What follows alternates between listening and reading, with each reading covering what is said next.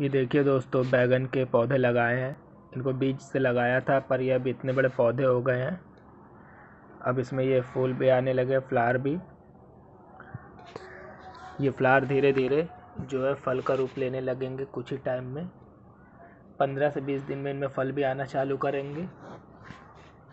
और करीब दो महीने के अंदर इसमें बड़े साइज़ के बैगन आ जाएँगे, पर्पल कलर वाले। ऐसे ही गार्डनिंग आप अपने छतों पर किसी भी ड्रम में कर सकते हैं।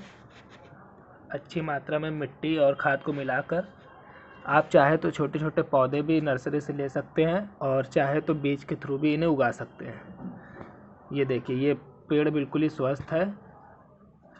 इसमें एक ड्रम में मैंने तीन पौधे लगाए, तीन से चार पौधे। इनसे ज़्यादा ना लगाइए क्योंकि मिट्टी के पोषण में कमी आने की वजह से आपके फल छोटे और ख़राब हो सकते हैं। तो ऐसे ही जानकारी के लिए हमारे चैनल को सब्सक्राइब कर लीजिए। तब तक मिलते हैं आपसे नेक्स्ट वीडियो में।